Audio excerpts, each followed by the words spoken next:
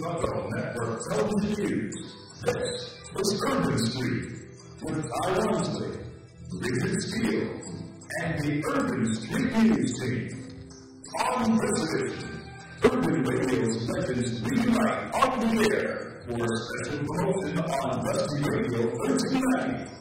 Oh, well, the girls, the Chicago on the infection, Curtis Mayfield, real people that we live and love together, the simple service, all of these Chicago groups, not only did they live, we started.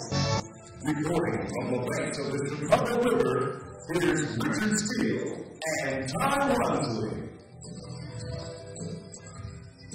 Welcome to Urban Street. Recently, Dusty Radio 1390 hosted the Legends of Urban Contemporary Radio.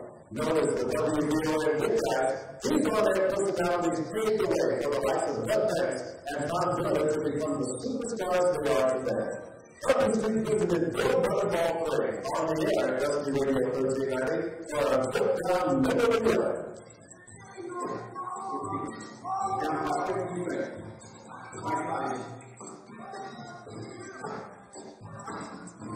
My back was but my actions were wrong. I refused to give up. We always say, he who bad in his bad shall inherit dominion. I will do the living God. This kept us a stone nectar. He was reading cross. There he goes. There he goes. Reading cross. What will it not? That about a year ago. We were talking about the things we could do for the radio to make it exciting and fun. And I said, you know, it might be fun to bring back some of the guys that used to do radio in Chicago. And I walked into my program director at the AM and took the idea, and we played around with it and talked about it, and nothing don't get done. And we talked about it in the hall for about a year, and about probably a month ago, I said, hey, let's do that. You know, they phone calls to the different DJs. They got excited about it. We decided to do the party. He put the thing together where they called in all week and we fit to play. And we do a party tonight. We're going to play the old music and all that. And I've done a lot of neat stuff at radio. And this has been the most fun I've had in a long, long time. I guess the biggest thing that I get out today is the love that is sitting in for these guys and ladies and the love that they have for each other and for the city.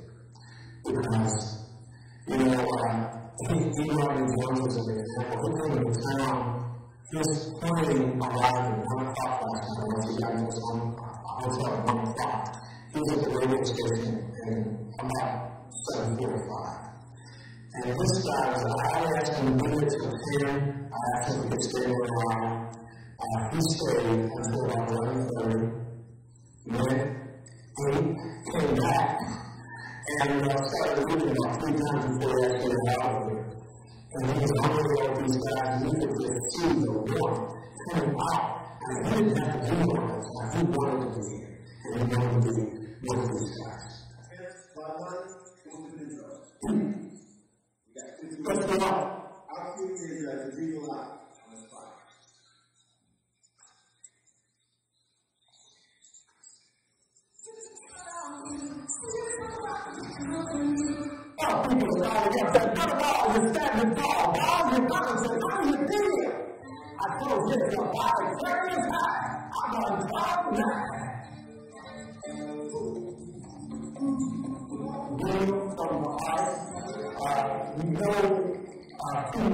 meditation the way we feel. Music dictates to me. And the way I relate to music, the way people relate to me, is what makes me.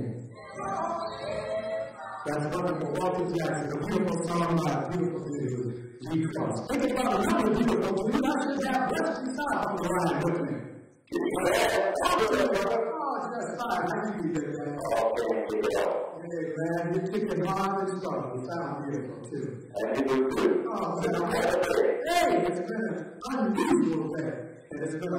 that we were all the dudes that we worked with for hundreds of years, of appears to be. I was there for fifteen years, We worked and 13 years. We worked every minute of it. There you go. You know, we were pleading for you for the rest of the good guys, too. The Return of the Good Guys featured radio legends Elon Jones, Bill Copley, Curtis Perry, the Blues Man, Lucky Cardell, and the ever popular Butterball. In Las Vegas, uh, it was uh, life. People loved it. Um, you know, one of the funny things about it, uh, a good friend of mine, who grew up listening to all these guys, said to me, uh, you know, that on, you know, when, when, Butter's thing was when he was over there, he used to, he was over the song, he started talking, like, oh, So, uh, and that's what Butter's doing with it. Uh, and it's great, you know, it sounds great, it's a lot of fun, uh, you know, so talking about it, that kind of thing. So, so, for that particular time, it was great. And uh, to hear it now is a breath of fresh air. Is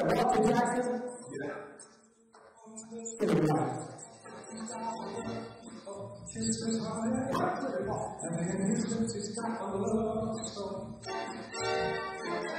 Before he turns 21, he's gonna be the love's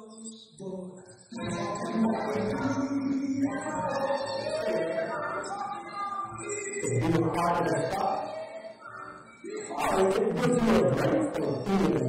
Have a feeling that you are you to express yourself, and you were successful at doing that. You were accepted by the people, and you're still able to make your living in that today that was necessary.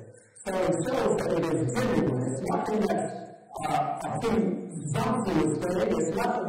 It's not a pretense. It's you, and that you, as an individual, are accepted. Well, okay, mixing up with that, forgetting the legends in action, wonder if the radio of old could happen again today. To do that kind of radio now, and, in, in the state the radio is now, it would take, it would take some risk to. And it would be a big risk for a radio station because you've got now stations that are drummed into people's heads that it's not good to talk. They drummed it into people's heads that play more music than everybody else. And music, music, music without a lot of talk we play X amount of in a. And I think what needs to happen now for certain organizations to be successful is to marry the two.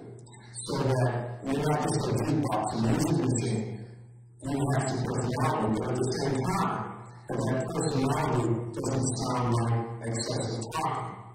You probably could try to do it. but It would cost a lot more money than you're prepared to spend right now. Because to bring these guys back full time, two of them out of town now, we have to pay for them to move back, and they're not going to work for North and Nines. And I would ask them to. That, I haven't thought about bringing them back on a permanent basis. I think this kind of thing works maybe once or twice a year. And most of I don't think really want to work full time. I would ask,